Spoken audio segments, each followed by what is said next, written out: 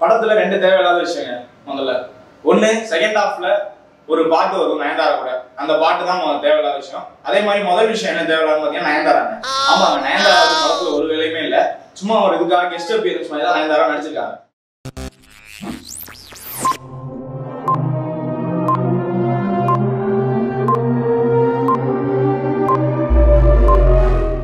Hi viewers Darbar படம் இன்னைக்கு release ஆயிடுச்சு. தர்பார் படத்தை பத்தி தான் பார்க்க போறோம். படத்துலயும் பொலிட்டிகல் ரெஃபரன்ஸ் வச்சுக்கிட்டே இருந்தாங்க. அதே மாதிரி இந்த படத்துலயும் ஒரு நாலஞ்சு பொலிட்டிகல் ரெஃபரன்ஸ் வச்சிருக்காங்க. அது என்னன்னு பார்க்கலாம். வாங்க.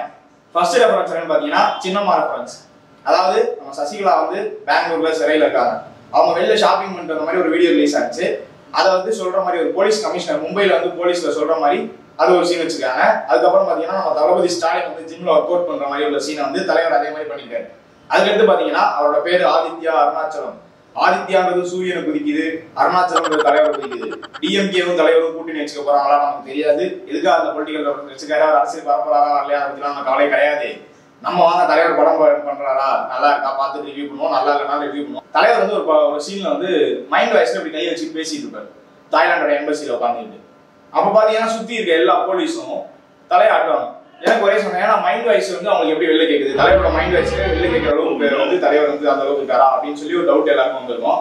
ரெண்டாவது தடவை இன்னொரு சீன் வந்து அதே மாதிரி மைண்ட் வாய்ஸ் பேசுவாரு அப்போ வந்து யாரும் தலையாட்ட மாட்டாங்க. சோ இந்த முதல் சீன்ல மட்டும் மைண்ட் வாய்ஸ் பேசும்போதே எல்லாரும் வந்து தெரியாம இப்படி இப்படி தலையாட்டிட்டே இருக்காங்க. எதுக்குன்னு தெரியல. அப்புறம் பாத்தீங்கன்னா திடீர்னு பாத்தீங்கன்னா ஒரு 48 வருஷம் ரெக்கார்டை வந்து இன்டர்நெட்லயே தேடி மும்பை போலீஸ் கண்டுபிடிக்கிறாங்க.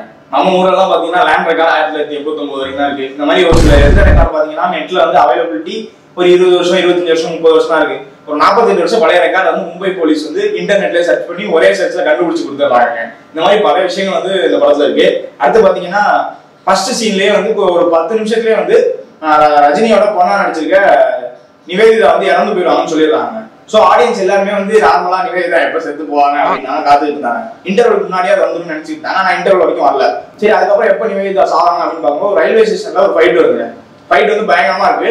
சரி அந்த ஃபைட்ல நிவேதிதா மேல யாராவது கத்தி குத்தி அப்படி செத்துருவாங்க பீகில் படம் மாதிரி இருக்கா வந்து ஓடிக்கிட்டே இருக்க போறாரு அப்படின்னு நினைச்சு எல்லாரும் ஆர்வமா பார்த்துட்டு இருக்கும்போது ரயில்வே ஸ்டேஷன் வந்து எல்லாரோடையும் அடிச்சு துவம்சம் பண்ணிட்டு பொண்ணை கூட்டிட்டு கிளம்பிடுறாங்க.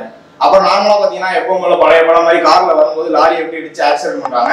சரி அதுதான் அவங்க பொண்ணு செத்துட்டாங்கன்னு பாத்தீங்கன்னா அடுத்த சீன்ல ஒரு பிஸ்ட் வச்சிருக்காங்க. தலைவர் வந்து உள்ள படுத்து கிடக்காரு ஆஸ்பத்திரியில அந்த பொண்ணு வந்து நின்றுட்டே இருக்குங்க. ஏன்னா சரி நீ சாலை என்னடா நடக்க போகுது அப்படின்னு ஆடியன்ஸ் வெயிட் பண்ணும்போது ஆடியன்ஸ்க்கே புரியுற மாதிரி தெரிஞ்சு போச்சுங்க. தலைவர் படுத்திருக்காரு. அந்த பொண்ணு நிக்கிது. டாக்டர்ஸ் எல்லாம் திரும்புறாங்க. உடனே எல்லாரும் தெரிஞ்சு போச்சு. கால் ரத்தம் அதை காமிக்க போறாங்க. அந்த பொண்ணு சாகடிக்க போறாங்க அப்படின்னு. அதுதான் நடந்துச்சு. கால் ரத்தம் வந்து அந்த பொண்ணை சாகடிச்சிட்டாங்க. ஓவராலா படத்தை பாத்தீங்கன்னா படம் வந்து பார்க்கலாம். படம் வந்து ஃபேமிலியோட போய் என்ஜாய் பண்ற அளவுக்கு படத்துல எல்லா அம்சமே சிறப்பா இருக்குங்க. பிஜிஎம் சூப்பரா இருக்கு. காமெடி யோகி பாபுக்கு வேற லெவலா இருக்குங்க. யோகி பாபு வந்து தலைவரை கலாய்க்கிறது வந்து உங்களுக்கு வந்து ஒரு ஆடாவே தெரியாம ரொம்ப ஈஸியா தலைவரோட அவர் வந்து ஒன்றி போய் நடிச்சிருக்காங்க யோகி பாபு மட்டும் இல்ல எல்லாருமே வந்து அவருக்கு ஈக்குவலா வந்து எஃபர்ட் போட்டிருக்காங்க. அவரும் வந்து எல்லாரோடையும் ஈஸியா கரெக்டா நடிச்சிருக்காரு. படம் வந்து ரொம்ப சூப்பரா இருக்கு. தலைவர் மட்டும் பெருசா மாசா தெரிஞ்சாலும் படம் ஓவராலா பார்க்கும்போது எல்லாருமே நல்லா நடிச்சிருக்காங்க.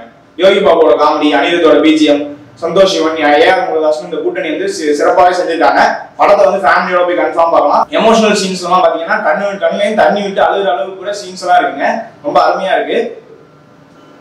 ஓவராலாவே பாத்தீங்கன்னா இப்ப தலைவரோட கெட்டப் அந்த போலீஸ் காஸ்டியூம் அந்த கெத்தா ஆண்டு வரது எல்லாமே ரொம்ப சூப்பரா இருக்கு. இன்னொரு விஷயம் பாத்தீங்கன்னா அந்த முதல் பாட்டுல போட்ட ஸ்டெப் சும்மா கிழி அந்த பாட்டுல ஸ்டெப் எல்லாம் வந்து அந்த அளவுக்கு பெருசா தலைவருக்கு இல்ல. பட் இருந்தாலும் பார்க்கலாம் படம் ஓவராலா நல்லா இருக்கு. ஏன்னா வில்லன்ற ஒரு கேரக்டர் பத்தி பேசவே இல்லைன்னு பாக்குறீங்களா? அந்த கேரக்டர் பத்தி சொல்ற அளவுக்கு ஒண்ணும் இல்லைங்க. தேட்டர்ல போய் படம் பார்க்கும்போது பாத்தீங்கன்னா ஒருத்தர் வந்து ஒரு டைலாக் வருங்க. டெப்டி சிஎம்மா இருக்க ஒருத்தர் மும்பைல மகாராஷ்டிரால டெப்டி சிஎம்மா இருக்க ஒரு பொண்ணை கத்திவாங்க தலைவர் போய் அதை ரெஸ்கியூ பண்ணி அந்த பொண்ணை பத்திரமா கூட்டி காப்பாத்தி கூட்டிட்டு வரும்போது அந்த டெப்டி சிஎம் அந்த பொண்ணை காப்பாத்துறதுக்காக நான் யார் காலில் வேணாலும் விழுகிறேன் அப்படின்னு சொல்லி சொல்லுவாங்க உடனே எனக்கு பின்னாடி இருந்துட்டு யாரோ ஒரு தீவிரமான தலைவர் ஃபேன் என்ன சொன்னாங்க தான் எல்லாரும் காலில் விழுந்தாலும் ஆகணும் அப்படின்னு சொன்னாரு. அவர் நினைக்கும் போது எனக்கு ரொம்ப பாவமா இருந்துச்சு. தவிர மற்றபடி தலைவர் வந்து படம் சூப்பரா நடிச்சுக்கிட்டே தான் இருக்காரு. இப்படி நடிச்சுக்கிட்டே நல்லா இருக்கும். தலைவர் படம் மட்டுமே பண்ணிட்டு இருந்தாங்க ரொம்ப சூப்பரா இருக்கும். அடம் வீடியோ லைக் பண்ணுங்க ஷேர் பண்ணுங்க கமெண்ட் பண்ணுங்க. நம்ம சேனலை சப்ஸ்கிரைப் பண்ணுங்க. இதே மாதிரி அடுத்த ஒரு ரிவியூவோட உங்களை சந்திக்கிறேன். பாய்